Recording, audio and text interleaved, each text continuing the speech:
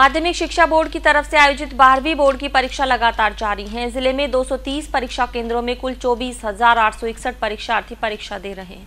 शनिवार को आयोजित बोर्ड परीक्षा को लेकर छात्रों में उत्साह नज़र आया। शहर में कई परीक्षा केंद्रों पर सैकड़ों की संख्या में छात्र छात्राओं ने भाग लिया।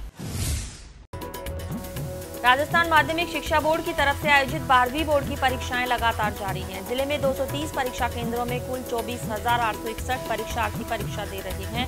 शनिवार को भी बोर्ड परीक्षा को लेकर छात्रों में उत्साह नज़र आया। शहर के कई परीक्षा केंद्रों में सैकड़ों की संख्या में छात्र छात्राओं ने भाग लिया।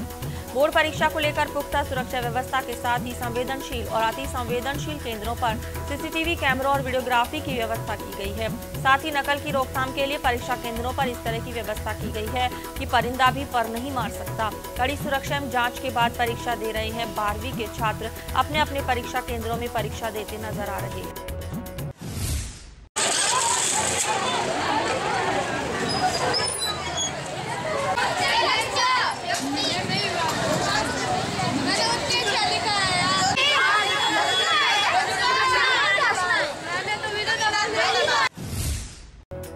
ज़िले में सात मार्च से शुरू हुई माध्यमिक बोर्ड परीक्षा को लेकर कई तरह की व्यवस्थाएँ की गई हैं। वहीं नकल की रोकथाम के लिए विशेष तैयारी की गई है।